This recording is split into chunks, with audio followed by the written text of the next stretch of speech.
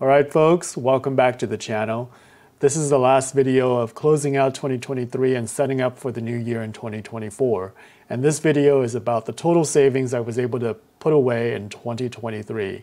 So let's jump right into it and see what we're looking at.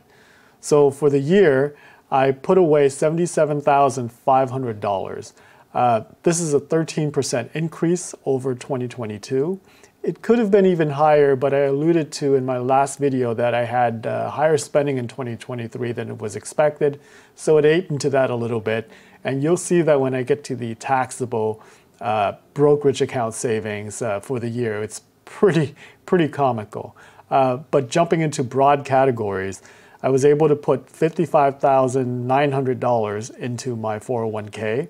Uh, that's made up of uh, 38,500 for traditional 401k savings. This is my direct contribution plus the profit sharing from my firm. And then on the Roth side, I was able to put away $17,363 of savings. And that's direct contribution as well as an in-plan voluntary after-tax contribution. To my Roth IRA, I was able to put away 6,500. That's the maximum for 2023. And I did this via a backdoor conversion because my uh, income is too high to contribute directly. For home mortgage, I was able to save $15,000 in home equity.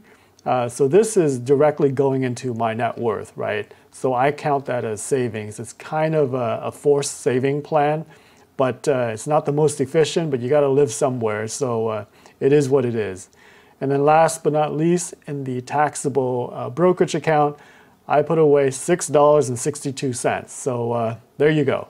So that's the uh, savings for 2023. And uh, I'm hoping to increase that uh, in 2024, hoping to hit the uh, six figure mark again. Um, it seems possible, but let's see what happens with my spending in 2024 and we'll take it from there.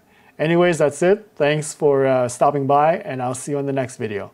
Later.